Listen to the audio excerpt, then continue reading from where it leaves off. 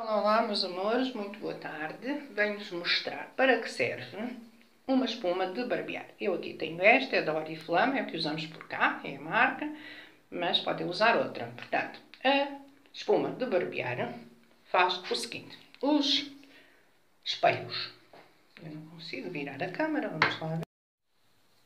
Vamos lá. Quem gosta de espelhos baços quando estamos a tomar banho e depois não se vê nada de nada. Pronto, então, como eu mostrei, espuma de barbear, ok.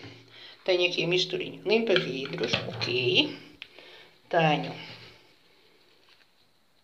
o pano. O pano para, ou seja, primeiro vamos lavar o nosso espelho, ok? Portanto, é úmido, não coloquem diretamente no espelho, porque estraga os espelhos um, e não fica tão bem lavado. Portanto, molham o pano depois colocam no próprio pano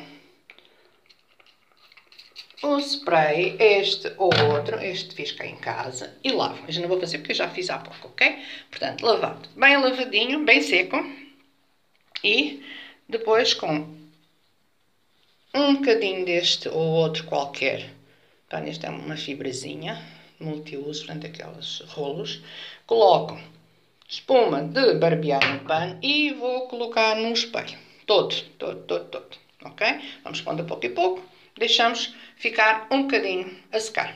Depois, com papel de cozinha, papel de toalha, não sei como é que eles chamam, portanto, este papel, secam tudo muito bem e todo muito limpinho, ok? E depois digam-me o resultado, ok? E se gostarem, fica aqui a dica.